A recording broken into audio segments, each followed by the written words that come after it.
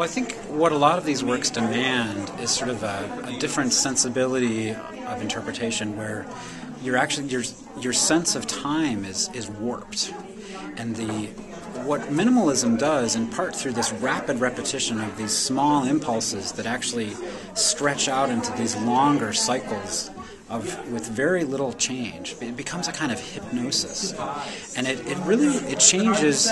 You know, it's almost like I guess if you're in the shower and it's nice and warm and comfortable, and you, you lose track of time, and suddenly you've been in there a half hour because it was you were swimming and bathing in this this reverie.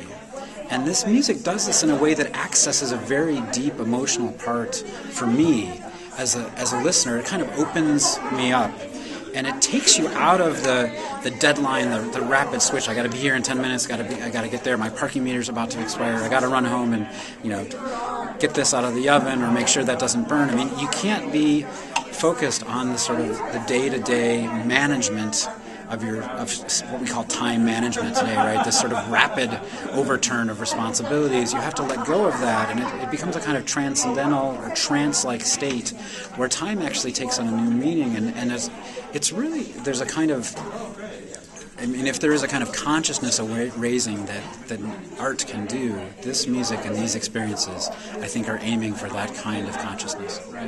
Well, well, you know, speaking of Einstein in particular, and some of this music, it, it denies the, the demand for resolution, for satisfaction. It's not going to just tell you what it's about. It's, it's going to you're going to discover what it's about in a process that's really going to take hours in many cases. I mean, Einstein is about five hours long. You can leave. There's no intermission. You can walk in and out on your own volition. But it's it's really you know, can you give yourself as a listener, as an audience member, to the possibility offered by these experiences in a way that offer the opportunity for this sort of transformation of your own consciousness is, is, I guess, the question that these artists are asking. And, and it does. It, it, it does demand that you leave the world you're used to and enter a new place.